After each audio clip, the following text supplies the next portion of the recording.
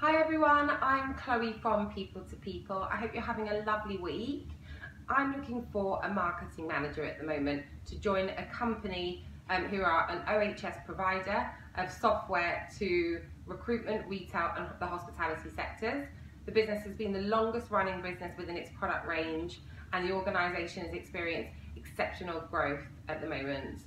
The successful candidate will be focused and self-motivated and have a creative flair and a strategic outlook.